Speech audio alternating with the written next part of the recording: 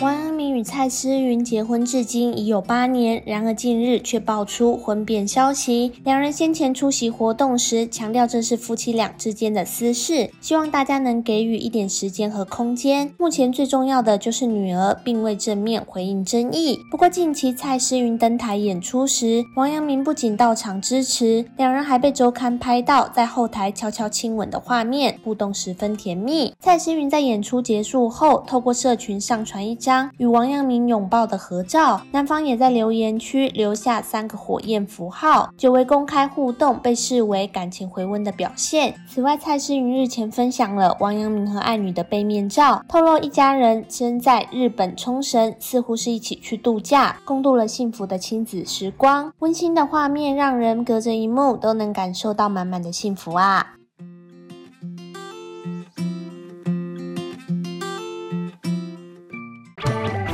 ！Bye.